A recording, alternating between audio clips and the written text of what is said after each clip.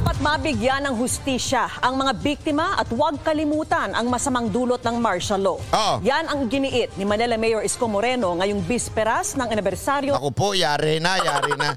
Ibubusta ko sa inyo, ipubusta ko sa inyo dahil ngayon nasa momentum na si Isko Moreno. Talagang packet na ng packet eh. Hindi na mapipigilan ang pag-angat ni Isko. Sigurado ako, aaraw-arawin na ito ng mga ampaw vloggers. Pero alam mo, hindi na nila tatargetin itong si Pinklawan. Aaraw-arawin na nila yan si Isko. Sinimulan na nga ho eh. Sinimulan na ng isang network.